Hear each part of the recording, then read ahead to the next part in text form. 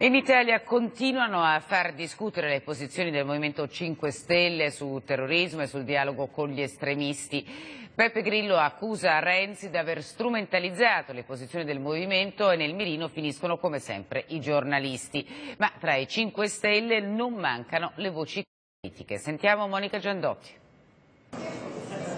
Sono le polemiche sulle vicende irachene il terreno su cui si consuma l'ultimo strappo dei 5 Stelle. L'attacco questa volta arriva dal responsabile della comunicazione Casalino contro il TG1, reo a suo dire di aver confezionato un servizio non corrispondente al senso del videomessaggio in cui ieri Beppe Grillo era intervenuto in maniera definitiva sui rapporti col governo. Replicando alle critiche arrivate al movimento in seguito ai due post di Alessandro Di Battista sullo Stato islamico e sulle violenze in Iraq, il leader aveva detto ci hanno coperto di schifezze, ho sbagliato a parlare con loro, aggiungendo verificherò se ci sono gli estremi per chiedere i danni a Renzi per aver detto che noi parliamo con i terroristi.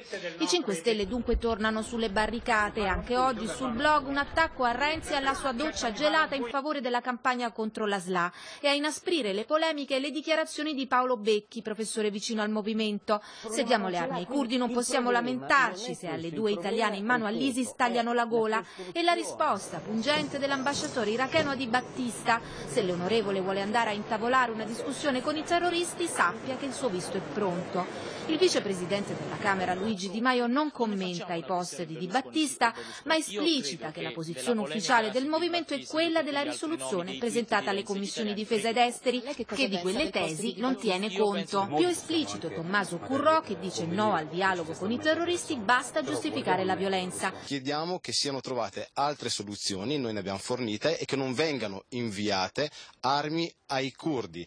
Anche sul futuro del dialogo col governo il movimento si divide nonostante la netta chiusura di Grillo, Di Maio spiega che sulla giustizia il movimento rimane disponibile al confronto a patto che Renzi scelga tra Berlusconi e 5 Stelle.